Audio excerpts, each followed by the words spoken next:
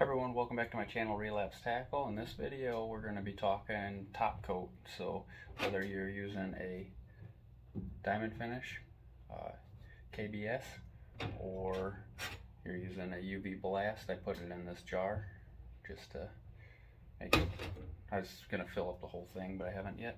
Um, so when you're going over jigs with eyes, you want to make sure that if you're using the glue, make sure that that is fully cured before you put a top coat on over top of it because the less the fumes, when it's trying to cure, it's going to gas out.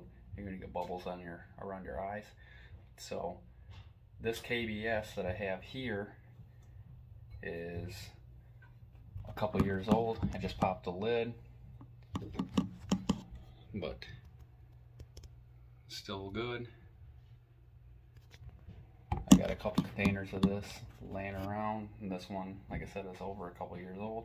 The key to this stuff is, is putting the lid on and occasionally flipping the container upside down so it gets a little bit of it stuck to the top. So if it's not sealed all the way, when it flips upside down, you get a little bit on there. It'll help seal it and then you don't have to worry about it setting up inside here.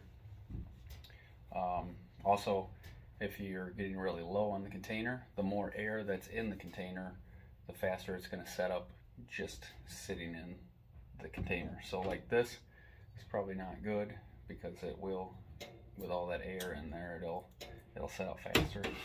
So I need to fill this jar up or put this in a smaller container.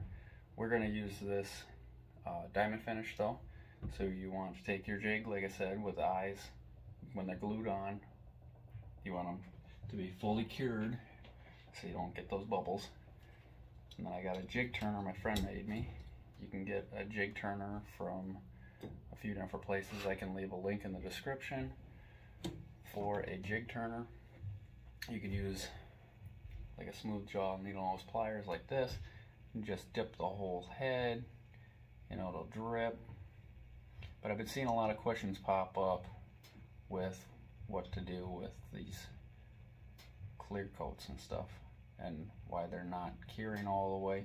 Well, the, the KBS, you have to use it in a room that has some moisture in it. You can't have too dry of an area. It needs that moisture to cure. Another thing that I do, make sure that the head doesn't hit. Another thing that I do though is I like to use this little puffer.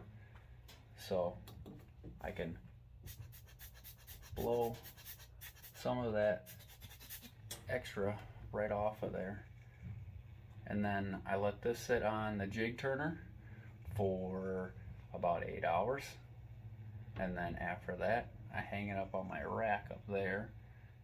I'll hang them all up on the rack and let them cure for a couple days. I don't, I would not package them right away because you want to make sure that that stuff is hard as a rock and fully cured. And you want a thin coat on it. You don't need anything real heavy.